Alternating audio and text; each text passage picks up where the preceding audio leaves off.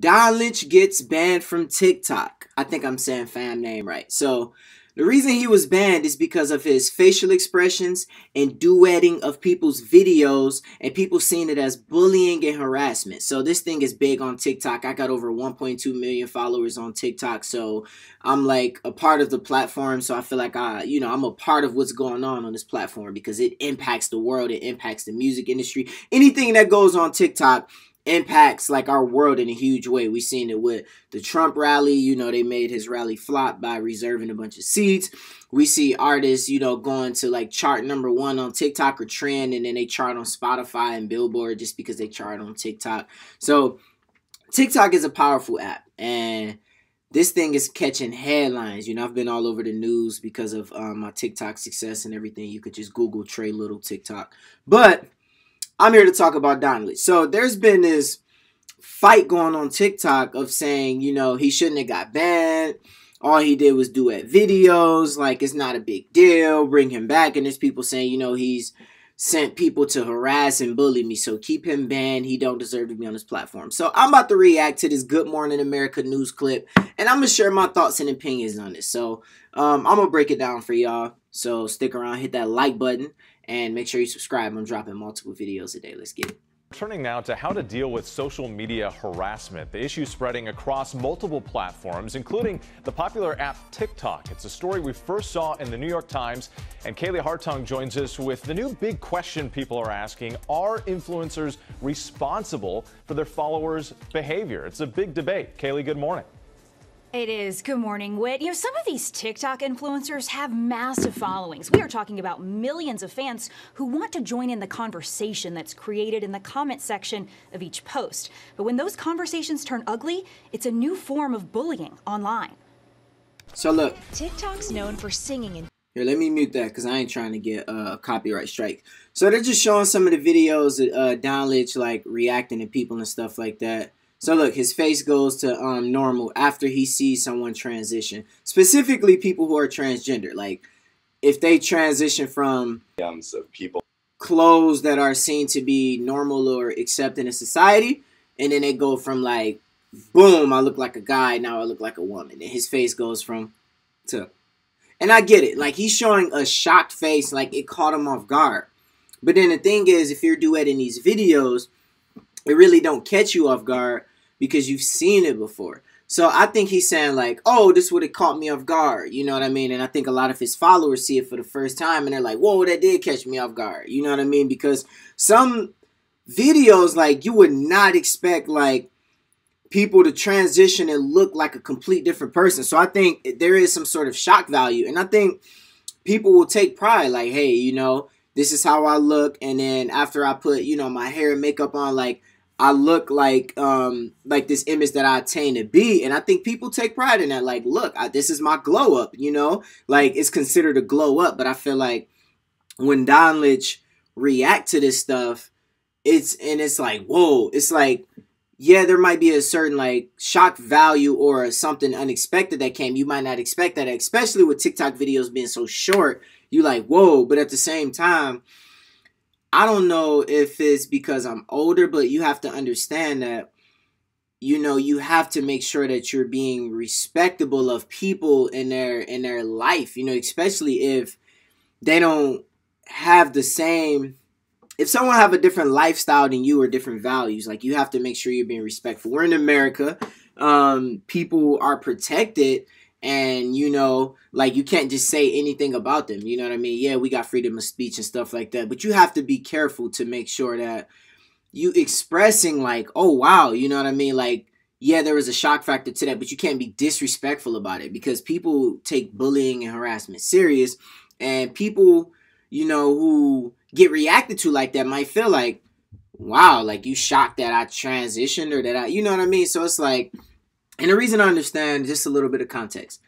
Um, I have people in my family who are transgender. I have um, you know, people who cross dress in my family, and I'm gonna break that down, you know, as we get into this video. So it's like I'm I'm used to it, you know what I mean? It's not really a shock, you know what I mean? I'm not like, oh my gosh, you know what I mean? Sometimes you're like, dang, I didn't expect um somebody who looks like this to transition and look like that. And it might not always be a negative thing, you know what I mean? Or it might not be a negative thing, but if you're reacting to it in a way that's like, oh wow, you look cool the way you are with jeans and long hair and some and a masculine figure, and then when you transition, it's like, oh my gosh, like that can be seen as like um as negative, you know, and I can see I'm not saying, oh, Donelij should have been banned, but I'm just expressing like this is something that I've been familiar with all my life since I was a kid, so I can understand how this would be offensive. So I'm gonna break it down for y'all. Keep watching, don't close off the video and get mad because I'm gonna break it down.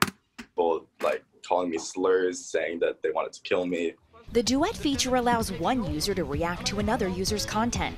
Seth and Madeline Man, I ain't trying to get a copyright strike, man. Or, line when Chris started sharing his reactions to their posts with his they got all this music here. So look, that's the uh that's when they were kids, and then they transition. Chris doesn't speak. The harassing in the comments section by his fans. His comments have been filled with death threats, negative messages, hateful comments. Even if he doesn't say anything, he's still allowing for this his huge platform to breed transphobia and homophobia and hate on TikTok. Dog, kids can't spell on TikTok. I swear, man. Did y'all just see how my man spelled believe up there? It was like B E L E I N D E P E. But look, look. TikTok does breed a lot of like man, like a lot of hate, like on some real stuff. I've never seen as much racism in my life I mean, like I've seen like racist church people like that I've went to church with and pastors say some flat out just racist, degrading to the human race type thing, right? To the black race, right? But on TikTok, kids will post a video of a of like like it's it's bad. Like literally, like they'll change their profile picture as a monkey, then call you monkey. They'll say the N word, but then switch the letters. They'll try to trick you up. It's bad. Like the racism on TikTok is horrible. Just the hate in general, like they gang up and then they want you to feel this hate. So it gets to a point sometimes where I don't even read the comments and I just be like, man, whatever, dog. Like, but I can see how this can feel very like, you know, horrifying to someone who already feel like dang, when I was going to school, I wasn't seen as normal. I probably was picked on. I probably this. Probably never felt like I fit in. Parents probably didn't accept me or something like that. Then you get on the social media app and you got people ganging up on you and just, huh. Like, I be clapping back in my comment section, like, man, y'all little punk kids, man. But the, the energy on TikTok is real. And, like, you got to have a lot of thick skin and a lot of mental strength to deal with it because that junk, and hey, man, it's like an army. Madeline is transgender, and Seth, who doesn't believe in labels, is usually seen wearing gender non-conforming clothes. can just be really harmful, especially growing up as a kid when you finally just found a way to express yourself to just kind of be beaten down completely. TikTok has since shut down at least three of Chris's accounts, but at just 17, he says he meant no Come on, man. they're trying to get my copyright. See, look, so my man's kind of like shocked, like, whoa, like, and look, and here's the argument. Donelij could have, it could have been like, dang, like I didn't expect that.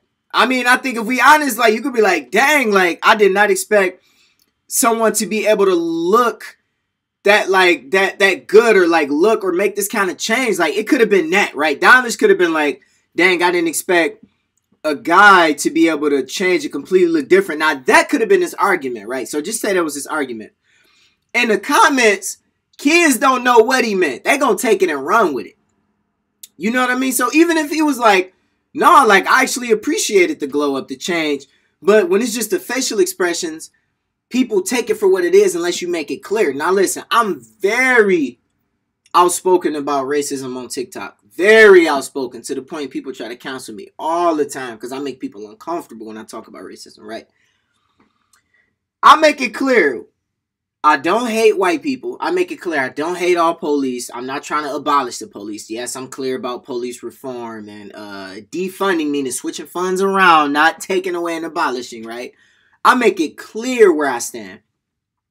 Now, it's hard if you just put something out there that's very neutral and let people run with it. So listen, I think because he's young, he don't understand the history behind things that are weighty like this.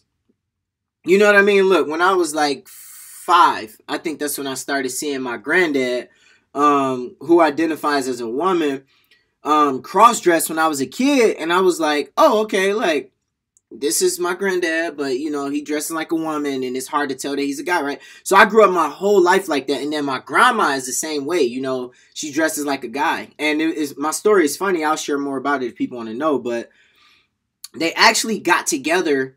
They were both uh, intoxicated one night and they got together, hooked up by accident, and boom, my mom was born out of that. Like my whole family like was born out of like you know like me and like my my siblings and my kids like all born out of that one thing that they seen as a mistake that they never wanted to do again.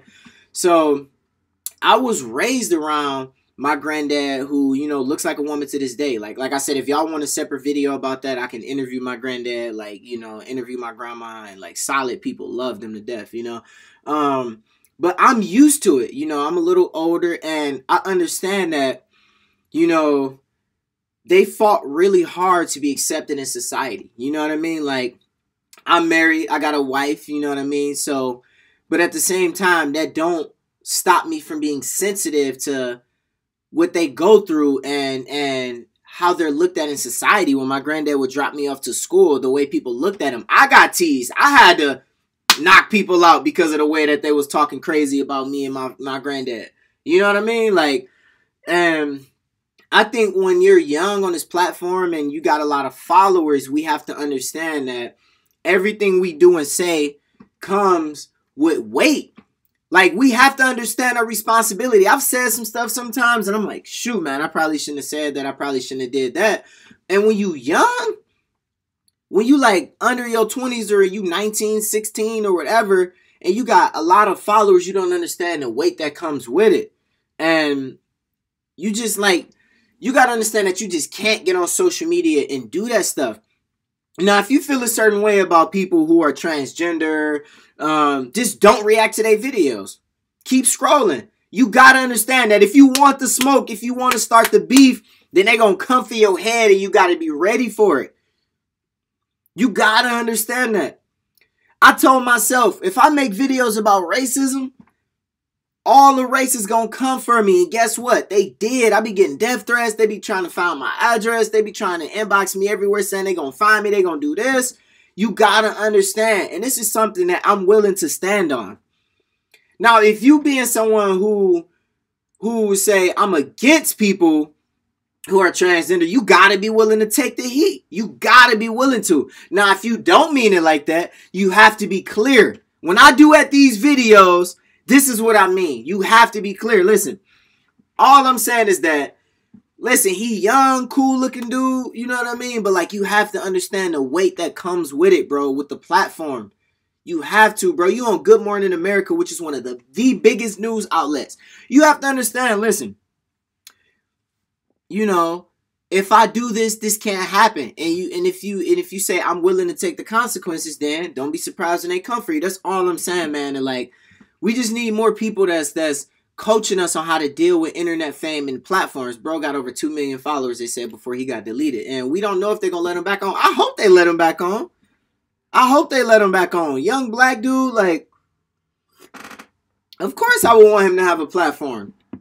He could have been doing anything else. You know what I mean? Like, for young black man, it's, it's, it's tough. Like, we, like, we already got these self consciousness and, and, you know, like, you know, there's already these stereotypes against us. So when you succeed in any way, you know, I don't know where he's from, but I know the odds that are against him. So I hope he get his platform back and can make his money. Cause he can go out and be doing anything else. You know what I mean? Like, but he's doing this social media thing. So I hope he get it back. I hope he learn. I hope he build relationships um with the transgender community. And I hope that they that they can forgive him and that's how I feel about it. Like I hope he can be forgiven and I hope he can learn and I hope that he can move forward. And I hope these conversations can happen. But at the end of the day, man, like you just like my, my takeaway is this you have to be aware of what can happen. And I know some people are saying, oh, they're just being so sensitive. Well, you gotta understand if you are not transgender, like you don't you can't say you know how it feel. I don't know how it feel, but at the same time, that doesn't mean that I have to be insensitive about it. That doesn't mean I have to say, oh, they're just being sensitive. Nah, I get it. There might be some people that's being sensitive or just complaining about every little thing, but when you think about the whole entire group, if you have a big group mad, if it's not just one or two, three people, if it's an entire community, you have to be willing to hear them out.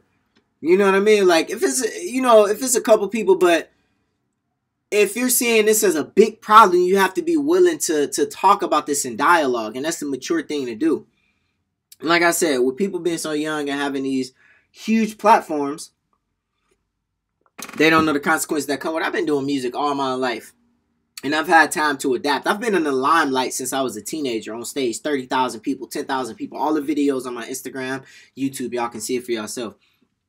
So I know how to get on the radio and not just get on there and say some junk that's gonna get me canceled. You know what I mean? Like at the same time, I don't hold my punches and I'm very outspoken about stuff I believe in.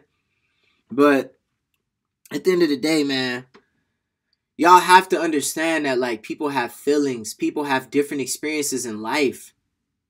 I just don't know why it's so hard to understand that because I'm a straight male. Why would it be hard for why would I say Oh, y'all don't know what y'all talking about. Y'all too sensitive. Y'all don't feel this way. Y'all don't feel like y'all being harassed. How would I know that? Who am I to say I know how people feel? So all I'm saying, listen. If you want to have an argument or conversation, call people on the phone, FaceTime. I call, I done called a couple famous TikTokers. I'm friends with a couple of them. I done FaceTime, I done DM. Do that. Don't get on the public and start arguing and fighting back and forth because y'all throwing y'all careers on the line. Have a private conversation if you really want to learn from somebody. Call them up, DM them, FaceTime them. But when you do stuff publicly in the limelight like that, man, it's gonna get ugly. If I got a problem with a big creator and not, or if I have a certain thing or some questions, I either avoid that person or I ask that. But you you started this to be honest, bro. You started looking at their videos, duetting it. If you ain't want these problems, just let them have their life. Let them be on the platform. Let them be free. Let them do what they want to do. Now, if somebody's like not hurting nobody, if they're not taking somebody's life or whatever, that's then like if there if it's a threat to somebody else, then that's different. But if people are just on the app to have fun, just let people be, let people create. Let people the reason I go at racist people is because they're spewing hate. That's a way different situation than getting on here and, and, and making people feel uncomfortable doing this and doing that. That's all I'm saying. Like I said, I want Donelij to come back. I support him being back on the app. I hope that he can learn. I hope that he can like he already got the apology video right here. Like I would never want anybody to be canceled like that, you know. Um at least without having a chance to learn. But I'm not going to make this video too long, y'all. If y'all got any questions, let me know in the comments below. Let's talk about it.